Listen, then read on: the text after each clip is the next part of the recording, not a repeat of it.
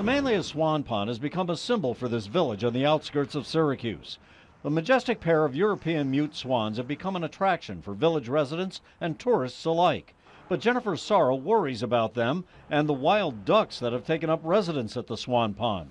When the village removed public feeding stations and the shelter it built for the swans, Sorrow is afraid the birds were starving in frigid weather. Everything has been taken away, and I don't know why. I'm very concerned about their well being. Mayor Mark Paul Seraphin is quick to defend the village's handling of the swans. He understands that others must have the same fears as Jennifer Sorrow.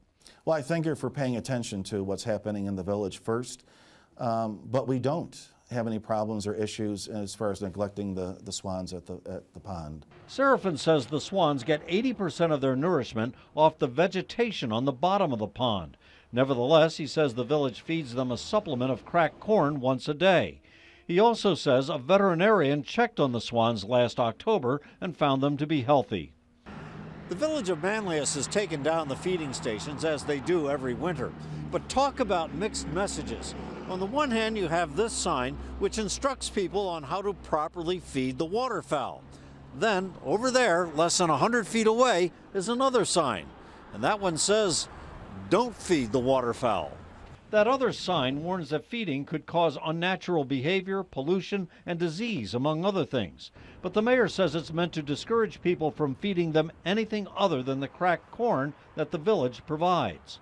As for the removal of the shelter, Mike Bean, a biologist who supplied Manlius with the two swans, says the birds would not use it anyway.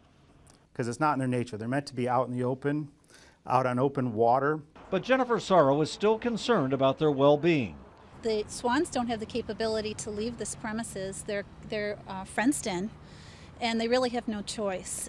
The village assures us that the swans are fine, and Bean says the proof may come this spring when you may see some baby swans or cygnets swimming along with their parents at the Swan Pond. Jim Kenyon reporting.